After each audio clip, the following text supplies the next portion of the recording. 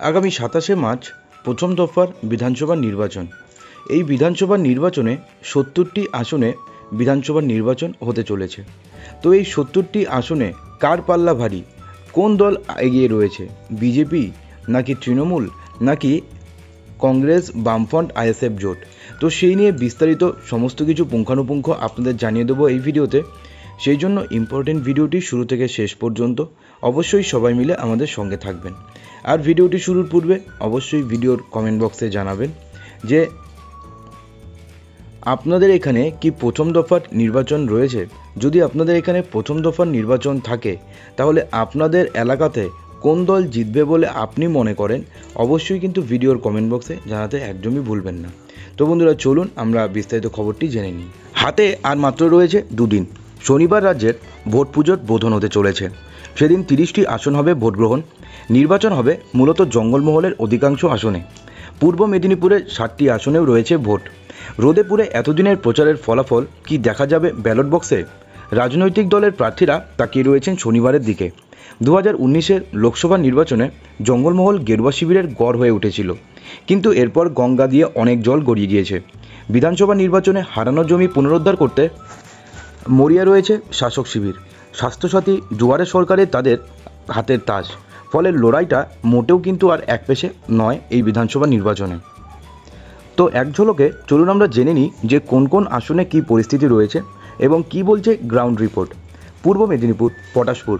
অধিকারী গড় হিসাবে পরিচিত, এই কেন্দ্রের বড় ফ্যাক্টর হতে পারে শুভেন্দু এবং শিশিরের দলবদল। আর তাদের হাত ধরেই ভরে উঠতে পারে বিজেপির ঝুলি। শুভেন্দু এবং শিশির ফ্যাক্টরের জন্যই এই কেন্দ্রে কিছুটা হলেও এগিয়ে রয়েছে বিজেপি। কাথি উত্তর। এই আসনে জয়ে তৃণমূলের হাতিয়ার সংগঠন। মোকাবিলায় তৈরি হয়েছে বিজেপি প্রার্থী সুনিতা সিনহার স্বচ্ছমূর্তি। কোনো পক্ষই এই আসনে জয় সহজ পাচ্ছে না।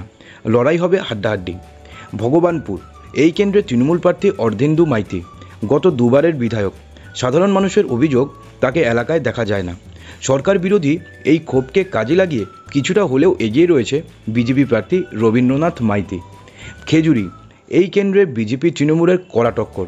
পার্থপ্রতিম দাসের চরিত্র নিয়ে প্রশ্ন তুলেছেন তার স্ত্রী। আর এই ঘটনা আমজনতার মনে নেতিবাচক প্রভাব ফেলেছে।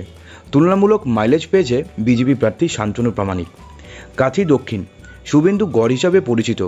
এই এলাকায় শহরকেন্দ্রিক ভোটাররা অধিকারীর পকেট ভোটার হিসেবে পরিচিত। তার উপরে জ্যোতির্ময় কর ছিলেন পটাশপুরের বিধায়ক।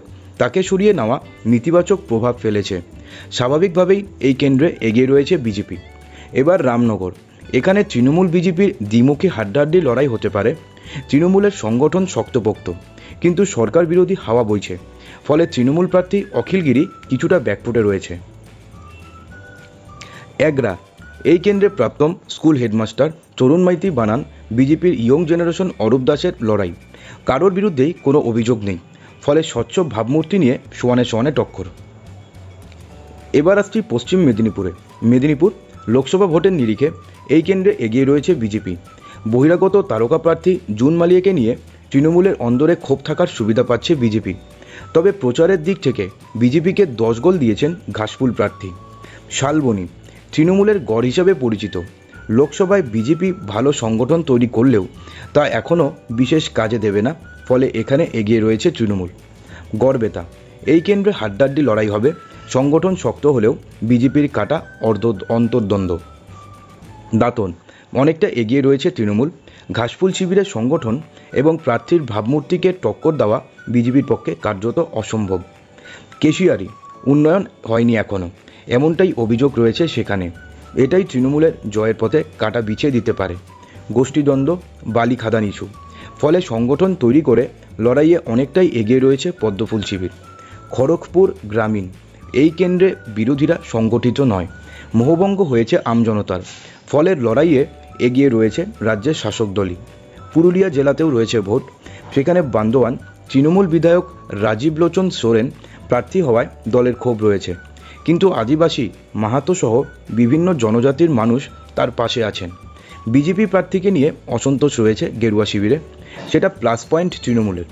বলরামপুর, গত পঞ্চায়েত নির্বাচন থেকে এই কেন্দ্রে একেবারে গেরুয়াময়। তবে প্রার্থী নিয়ে ক্ষোভ রয়েছে গেরুয়া শিবিরেও। ফলে এই কেন্দ্রে লড়াই হবে হাড্ডাহাড্ডি, বাঘমুন্ডি। একদা কংগ্রেস গড় বাঘমুন্ডিতে লোকসভায় বিজেপির প্রবল হাওয়া। আসনটি বিজেপি আজ সুজিয়ে ছেড়ে দেওয়ায় দলে ক্ষোভ বিক্ষোভে একেবারে চরমে উঠেছে। তাই বিজেপির ভোট কংগ্রেসে যেতে পারে। ফলে এই কেন্দ্রে দুবারের কংগ্রেস বিধায়ক, জেলা কংগ্রেস সভাপতি তথা এই কেন্দ্রের জোট প্রার্থী নেপাল মাহাতো আবার জয়ী হলে অবাক হওয়ার কিছুই থাকবে না। জয়পুর তৃণমূল প্রার্থী উজ্জ্বল কুমারের মনোনয়ন বাতিল হয়ে গেছে। নির্দল দেবজ্যোতি সিং দেওকে সমর্থন করেছে তৃণমূল। জোট থেকে ফরওয়ার্ড ব্লকের প্রাক্তন সাংসদ ধীরেন্দ্রনাথ মাহাতোকে প্রার্থী করা হলেও কংগ্রেস এখানে প্রার্থী দিয়েছে। বিজেপি প্রার্থী মুকুলপন্থী ফরওয়ার্ড ব্লক থেকে আসা প্রাক্তন সাংসদ নরহরি মাহাতোর বিরুদ্ধেও রয়েছে গোজ প্রার্থী। ফলে এই আসন জয়ের অঙ্কটা বেশ কঠিন। তবে আসনটি কংগ্রেসের ঝুলিতেই যেতে পারে। পুরুলিয়া প্রাক্তন কংগ্রেস বিধায়ক সুদীপ মুখোপাধ্যায় বিজেপির প্রার্থী হওয়ায় ক্ষোভ রয়েছে। এই আসনে এবার কংগ্রেসের প্রার্থী পার্থপ্রতিম বন্দ্যোপাধ্যায়, শহরের পরিচিত মুখ। তবে এখনও এই কেন্দ্রে বিজেপিও ফ্যাক্টর এদিকে এবার দাপুটে নেতা পুরুলিয়া জেলা পরিষদের সভাধিপতি সুজয় বন্দ্যোপাধ্যায়কে প্রার্থী করেছে তৃণমূল। ফলে লড়াই হবে হাড্ডাহাড্ডি। তৃণমূলের পালে চোরা হওয়া রয়েছে বলেই ধারণা করছে রাজনৈতিক মহল। মানবাজার দুবারের বিধায়ক, রাজ্যের অনগ্রসর শ্রেণীকল্যাণ দপ্তরের রাষ্ট্রমন্ত্রী সন্ধ্যারানী টুডু এবারও তৃণমূলের প্রার্থী। এই কেন্দ্রে তৃণমূলের গড়, ফলে জেলা জুড়ে বিজেপির বারবারন্ত হলেও এই কেন্দ্রে তৃণমূলের জ্বর এক প্রকার নিশ্চিত বলেই মনে করছে রাজনৈতিক মহল। কাশীপুর, এই কেন্দ্রে তৃণমূলের দুবারের বিধায়ক স্বপন বেলথরিয়া এবারও প্রার্থী। তৃণমূল বিরোধী হাওয়া প্রবল রয়েছে সেখানে। বিজেপি এখানে ঘরের ছেলে, শিক্ষক দলের আদিবাসী সংগঠককে প্রার্থী করেছে। আগে এই কেন্দ্রে সিপিএমের গড় ছিল। এবার সেই গড় পুনরুদ্ধারে মরিয়া রয়েছে লাল পার্টি। তবে তুলনায় এগিয়ে রয়েছে তৃণমূল। পাড়া। তৃণমূলের বিধায়ক উমাপদ বাউরি এবারের প্রার্থী। প্রার্থী নিয়ে বিজেপিতে কলহ থাকলেও এই কেন্দ্রে গেরুয়া শিবিরের জয়ের সম্ভাবনা ছিল।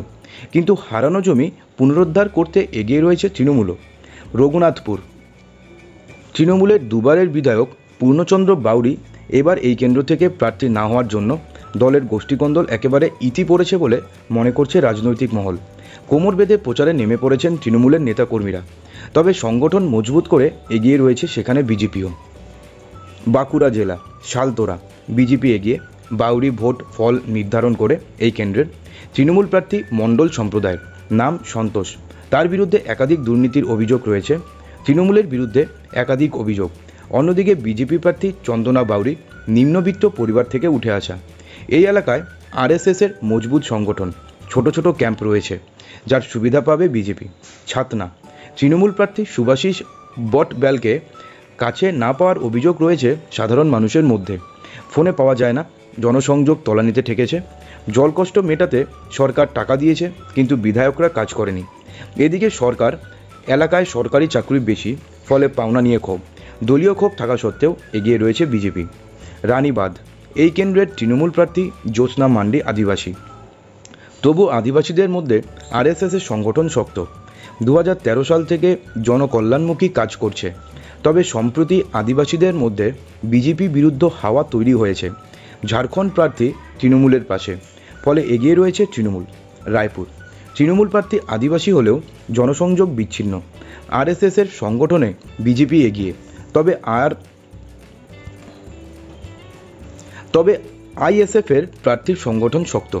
তাই তিনি প্রচুর ভোট কাটবেন, সুবিধা পাবেন তৃণমূল। ঝাড়গ্রাম, নয়াগ্রাম। তৃণমূলের উন্নয়নমূলক কাজ এলাকায় ব্যাপক প্রভাব পড়বে। কাজের নিরিখে এগিয়ে রয়েছে তৃণমূল। তবে বিজেপির সাংগঠনিক শক্তি অনেকটাই বেশি। চুলচেরা বিশ্লেষণ করে দেখা যাচ্ছে, বিজেপির চেয়ে সামান্য এগিয়ে রয়েছে তৃণমূল। গোপীবল্লভপুর। তৃণমূল প্রার্থী খগেন্দ্রনাথ মাহাতো। বিজেপির প্রার্থী সঞ্জিত মাহাতো। সিপিএমের হয়ে প্রতিদ্বন্দ্বিতা করছে প্রশান্ত দাস। জঙ্গলমহলের এই আসনে তৃণমূল বিজেপির হাড্ডাহাড্ডি লড়াই হবে। ঝাড়গ্রাম তৃণমূল প্রার্থী বীরবাহা হাসদা, বিজেপির প্রার্থী সুখময় শতপথী এবং সিপিএমের পক্ষে দাঁড়িয়েছেন মধুজা সেন রায়। কাজের নিরিখে তৃণমূল এগিয়ে বিজেপির সংগঠন শক্তপোক্ত, ফলে লড়াই হবে হাড্ডাহাড্ডি। বিনপুর, দেবনাথ হাসদা এবার তৃণমূলের প্রার্থী। বিজেপির প্রার্থী পালহান সোরেন এবং সিপিএমের প্রাক্তন বিধায়ক দিবাকর হাসদা। লড়াইয়ে এগিয়ে কিন্তু রয়েছে তৃণমূল। তো বন্ধুরা, আপনাদের মতে আপনারা যদি এই সমস্ত এলাকাতে বসবাস করেন, তাহলে আপনাদের মতে আপনাদের এলাকাতে কে জিততে চলেছে? হাওয়া কোন দিকে রয়েছে?